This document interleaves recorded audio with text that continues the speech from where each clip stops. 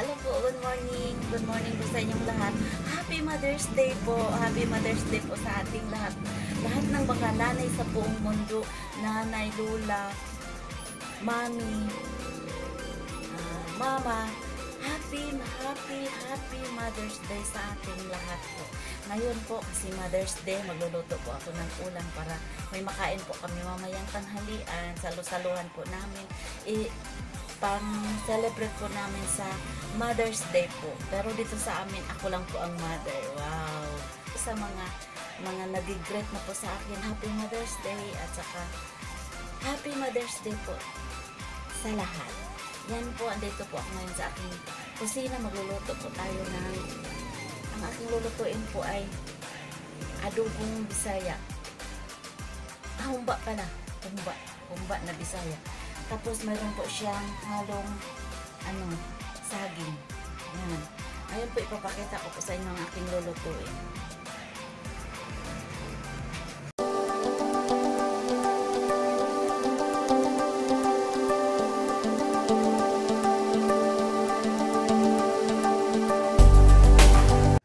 Yan po ang aking lulutuin. Pork kumba. Tapos mayroon po siyang halong saging saka hahaluan ko din po siya ng chicken. Rambol-rambol na po yan mamaya mga guys. Yan, mag-umpisa na po tayo mga guys sa paglalagay ng ating mga ingredients or mga ricados. Ayan po, nilalagyan ko po siya ng tausi or black beans. Tapos, lalagyan ko po siya ng bilog na bilog na paminta.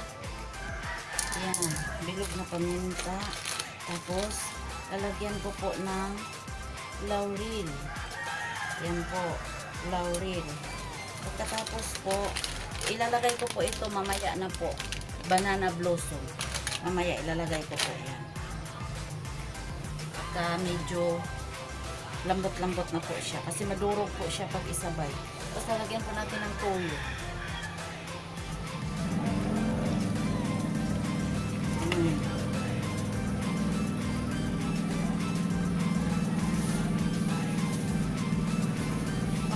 Pagkatapos ng toyo, lalagyan po natin ng pula na asukal.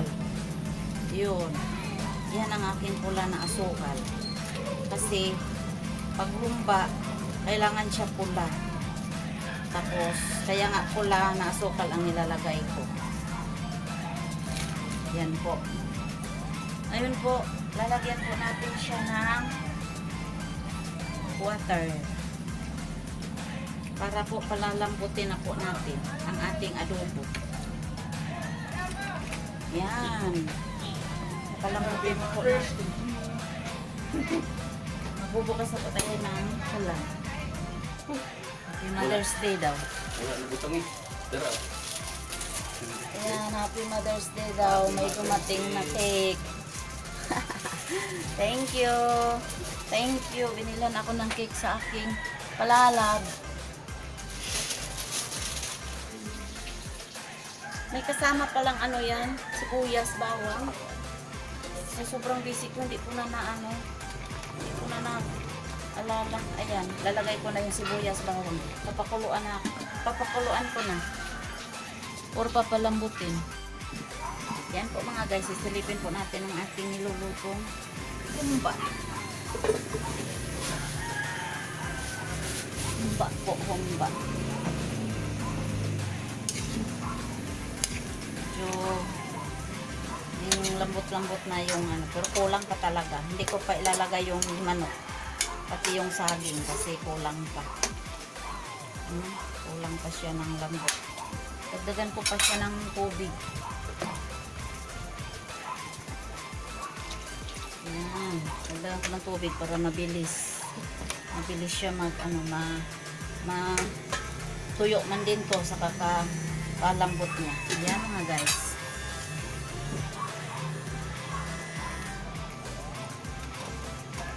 Lalagay na po natin ang banana blossom. Yan po. Lalagay na po natin banana blossom.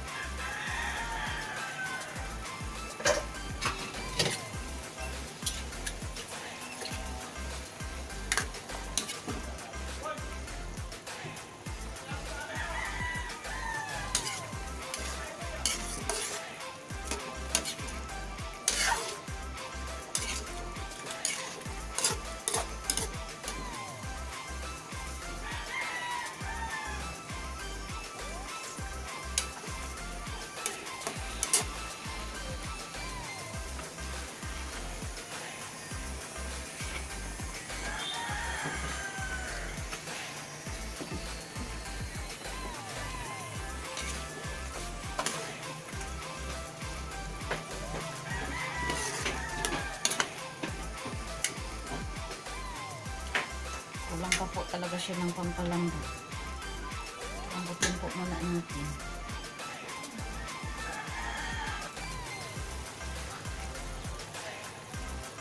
Ngayon po mga guys, medyo malambot na po yung ating pork. Lalagay na po natin ang ating chicken. Yan. Lalagay natin chicken. Hindi ko siya sinabay kasi madudurog yung chicken natin. Kaya nga, siya na muna dito uupo sa gitna. Kasi medyo malambot na ang ating pork. Kaya mga isusunod natin yung saging. Yan po mga guys, ang sarap ng ating humba. Ayun lang ulit ako nakaluto ng humba na ganito. Takpan po muna natin para magpalambot na naman tayo ulit sa ating chicken.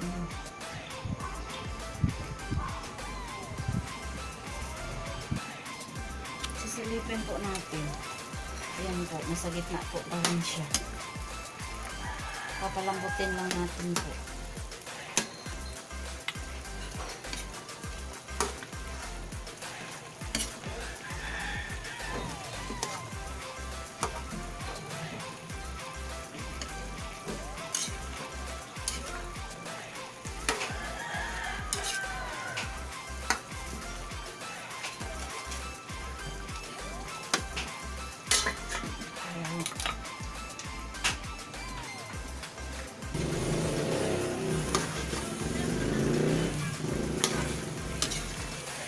Ilalagay na po natin ang saging.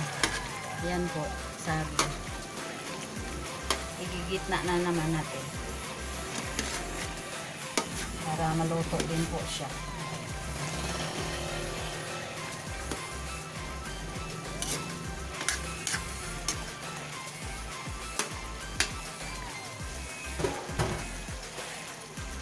Dagdagan po natin ng konting sabaw kasi medyo ni-sticky na po. Baka masunog ang ating adobo. Ahula.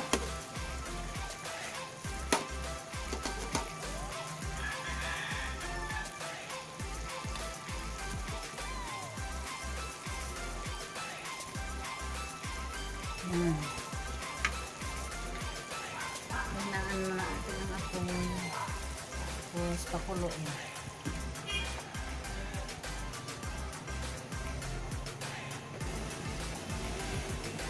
Lalagyan po natin ng konting suka. Konting humba.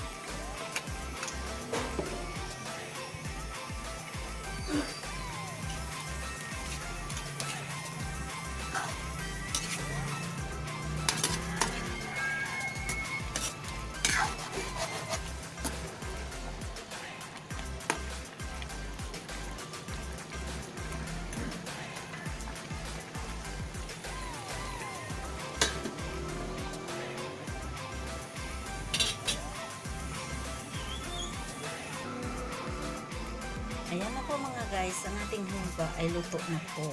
Yan. Ayan po mga guys, ang ating humba na may kasamang manok at saka may kasamang saging. Yan po, hahanguin po natin. Lagay po natin sa lagayan. Dito pa po muna natin ilagay kasi medyo mainit pa po siya mamaya ilalagay po natin sa final na lagayan para po doon sa table. Iha, ihahanda na po natin sa table. Kasi baka masira yung aking lagayan. Hindi makakaya ng sobrang init.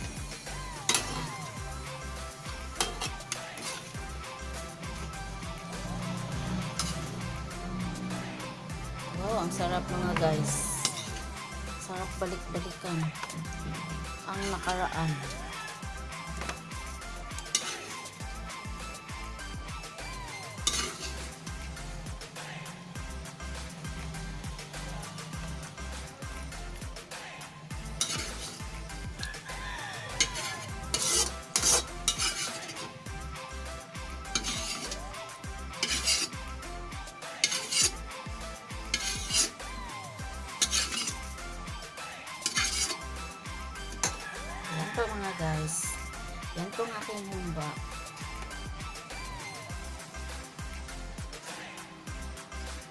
Po sa pagpanood niyo sa aking pagluluto ng aking humba bisaya or humba na may chicken at saka saging. Thank you mga guys. Thank you for watching.